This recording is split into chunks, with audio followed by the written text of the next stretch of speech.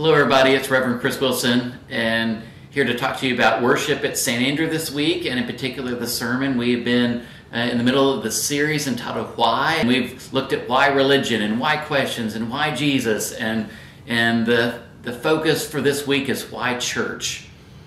Uh, one of the things that's a growing trend in our country is we have more people that believe in God or have a spirituality, but people are less inclined to be a part of an organized religious experience. And we see this growing trend.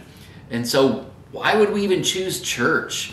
Um, can't I just believe in Jesus at home? Isn't that good enough?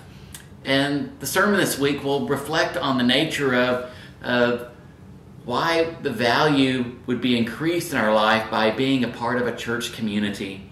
Uh, Paul writes in the letter to Romans in chapter 12 some of the some of the characteristics or traits that are valuable when it comes to people that are drawn toward the same belief structure when they're together, the value of them being together.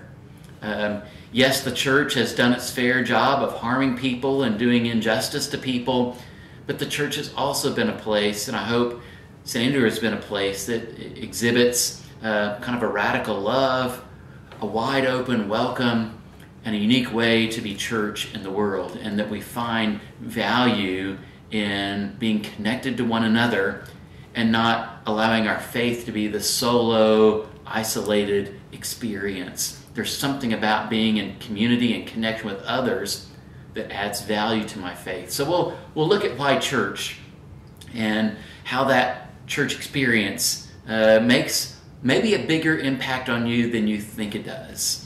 And that can be whether you're experiencing church in person, you're experiencing church online, if you're uh, doing the live stream on Sunday morning. There's something about being interconnected and interwoven with other people's lives and doing that together that brings added value. So I hope you join us as we explore the church question this week.